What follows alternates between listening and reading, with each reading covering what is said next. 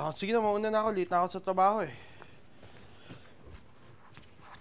Eric, sandali lang. Oh, bakit? Eh, parang napunta ka na dyan sa sarili mong mundo ulit eh. Baka magutom ka sa paghahanap ng iyong prinsesa. Ayos ah, ano to, pabaon? Ay nako, tumitilaok pa lang ang manok ni Pedring. Gising na yan. At simula ngayon, ako na ang maghahanda ng iyong babaunin sa trabaho. Nahiya naman ako sa'yo. Ah, salamat na rin. Alam mo, butong-buto ako sa'yo para sa apo ko.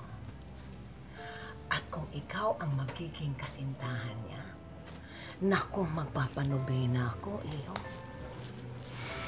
Kasi matagal na itong walang girlfriend. Lola!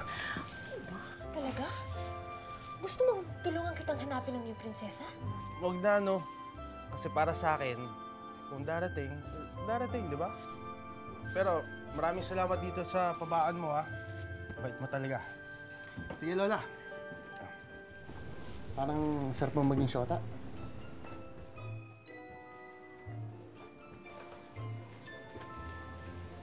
Masarap daw ako maging shota.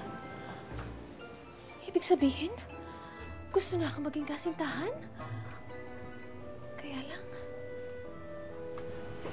Kaya lang may iba na siyang napupusuan.